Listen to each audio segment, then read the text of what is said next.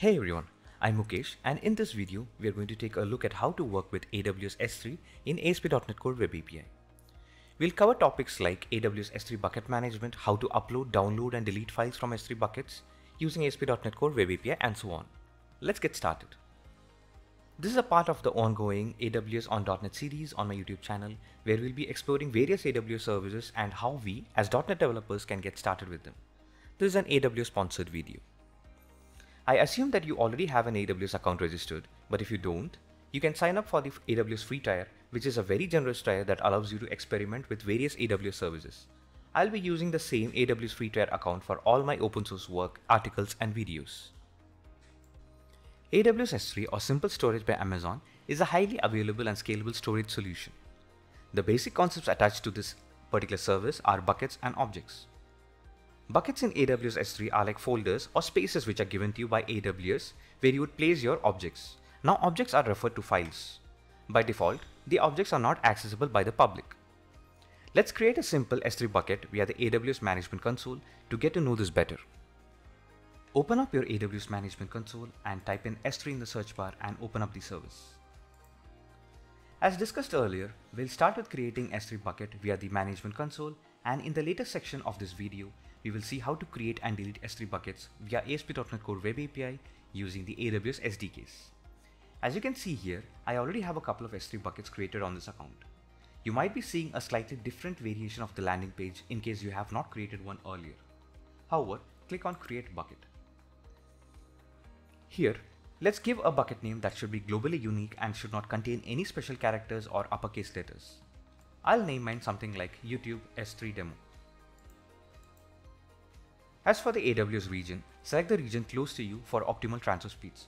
In my case, it is AP South 1. You can leave everything else as it is. By default, AWS blocks all kind of public access into this bucket. Let's keep it this way. Further in the tutorial, we'll learn a way with .NET to generate URLs to your uploaded files that expire after a given amount of time. You can also add in some tags if you think your S3 bucket is related to any projects or so for better tracking. That's it. Review your changes and hit on create bucket. You can see that the new S3 bucket is created. As a simple exercise, you can play around with the S3 dashboard and try to upload some new files into the newly created bucket. So let's open up our newly created bucket, hit on upload and select add files. Here let me upload some random files, for example this PNG and hit on upload. You can see that the upload has succeeded and our file is available in the S3 bucket. Moreover, you can also create folders in the bucket and upload objects to it. Playing around with the S3 dashboard should get you familiar with using it. In the next section, let's see how to build our ASP.NET Core Web API to work with AWS S3. Before getting started with the development work, ensure that you have the following prerequisites installed and set up on your machine, which is Visual Studio IDE for the development, AWS CLI profile that we mentioned earlier, .NET 7 SDK since we are going to build an ASP.NET Core 7 Web API, and an AWS account. In this case, a free tier would do. Open up Visual Studio. I'll be using Visual Studio 2022 Community as my IDE with the latest stable release of .NET SDK 7 installed on my machine. Here, let's create a new project. Select the ASP.NET Core Web API template, give a name for your project, I'll name it s3demo.api and rename my solution of s3demo. Hit next. For the framework, I'll be selecting .NET 7. I will use controllers for this particular application and hit on create.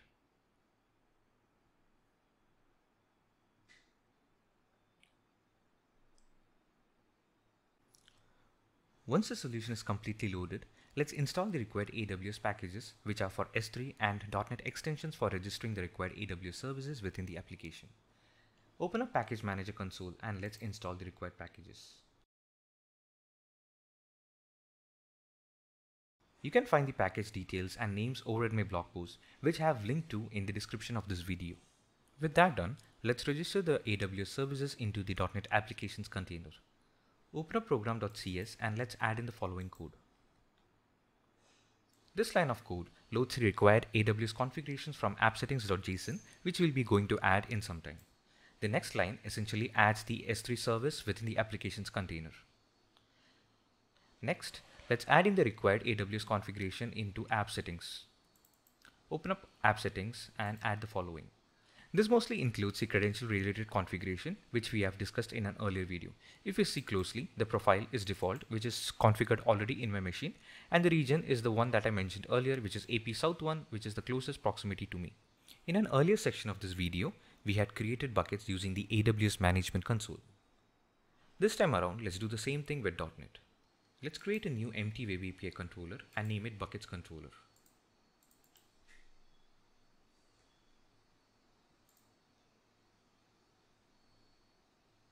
After that, let's make sure to inject the IAmazonS3 interface into the constructor of this controller.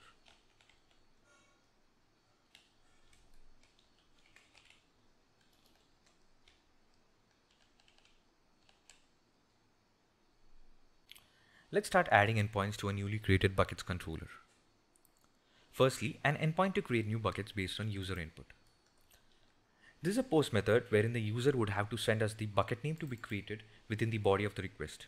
Firstly, we'll check if the bucket name already exists. If it exists, we'll throw a bad request back to the client. Else, we'll use the S3 client instance to create a new bucket based on the bucket name. Once that's done, we'll send back a 201 created status code back to the user. Next, let's add an endpoint that would essentially get a list of S3 buckets available under your AWS account. Here, the client would return back a list of bucket list response, which we would extract the names of each bucket list into a list of string and send back to the client as the response. Finally, an endpoint to delete an empty S3 bucket. The user would simply have to provide the bucket name to this particular API endpoint. The only catch is that the buckets can be deleted only if they are empty. So here is the endpoint uh, code that we'll be writing. Now that the buckets control is completed, let's run the application and test it with Swagger. Firstly, let's create the post endpoint to create a new bucket. I'll just add a random name to the bucket and hit on execute. As you can see, we have received a 201 status code back from the API server. Next, let's see the list endpoint if we are able to fetch all the S3 bucket names that is existing in my S3 account. As you see, these are the available S3 buckets on my AWS account. Similarly, you can also test the delete endpoint. With the bucket operations done, let's get started with the file operations in AWS S3 using ASP.NET Core. The idea will be to create a new API controller named Files Controller, and this API controller will have endpoints that can upload file binaries taking in a bucket name, folder name, which in AWS term is called as object prefix. The other endpoints include getting the S3 object details, deleting it, and getting a list of objects available per S3 bucket. Let's switch back to Visual Studio. First up, we'll create a new Web API controller under the controllers folder and name it Files Controller.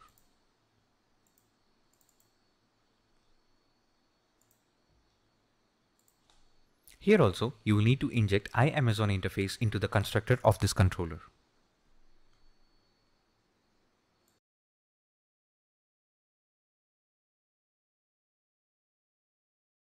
With that done, let's understand the requirement of the endpoint wherein the user should be able to upload a new file to a specific S3 bucket. To this new endpoint, the user would pass the file binary, name of the bucket, and the folder name, which is optional. Let's see the code. So this is going to be a post method where the input is an IFormFile, the bucket name, and an optional parameter for the prefix or the folder name. Firstly, we'll check if the provided bucket name exists in our AWS account. If not, we'll throw back a not found exception. Else, we'll create a new put object request along with the bucket name, key, input stream. So the key is going to be the prefix or the file name of the file that is being passed. And the input stream will be the file binary. Uh, so once that's done, we'll push the request object to the put object API of the S3 client. And finally, we'll return an status code of OK. Next is an endpoint to get a list of files that are available in an AWS S3 bucket. For this, we'll have to create a DTO class that will be returned as a response for this endpoint. Ideally, we need a list of file details which will be the name of the file as well as an URL that can be accessed by the public. Create a new folder named models and create a new class under it named S3 object DTO.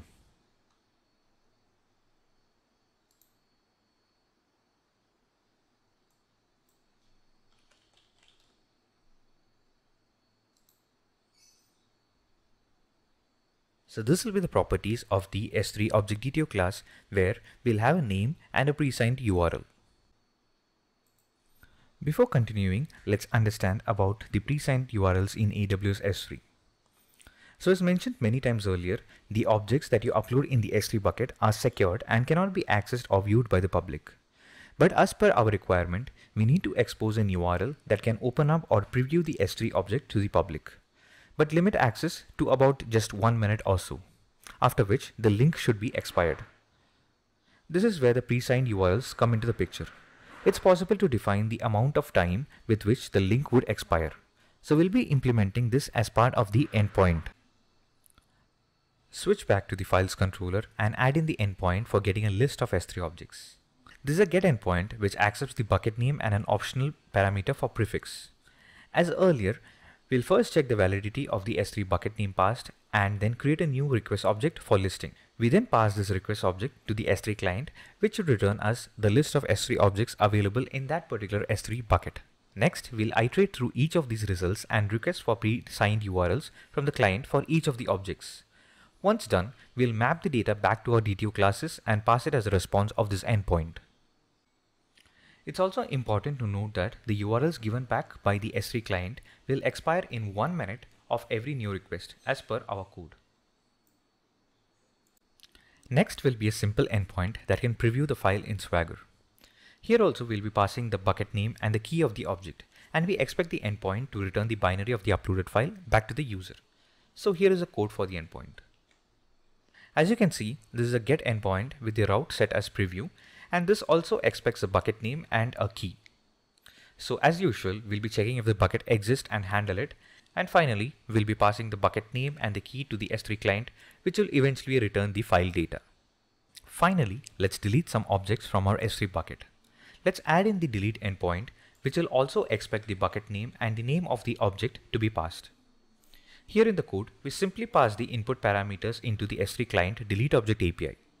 That's it. Let's run our application and launch Swagger to perform testing over the file operations. First, let's see the content of the S3 bucket that we had created earlier in this video via AWS Management Console. So this is going to be the get endpoint. So here we'll have to enter in the bucket name and hit on execute. As you can see, this is the file that we had uploaded earlier and this is the pre-signed URL. I'll just try opening this. So there you go. This is the image that we uploaded earlier. Next, I'll try to upload some file in the same bucket. Let's open up the post endpoint, enter in the bucket name and choose a file. With that done, let me execute this particular request. As you see, we get a response saying that this particular image is uploaded successfully to S3. Let's go back to the list endpoint to check the result now. The second file also started appearing in this response. Next is the preview endpoint where I will enter in the bucket name along with the name of a previous file that we uploaded.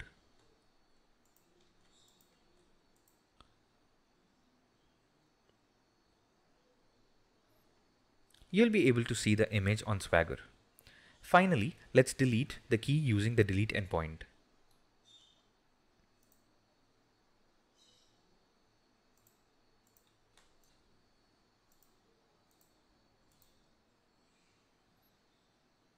As you can see, the file is now deleted. You can find the complete source code of this application that we built in this repository the link to which you can find in the description of this video. The source code of all the upcoming YouTube videos of the .NET on AWS series will be available in this particular GitHub repository, so do not forget to start this repository.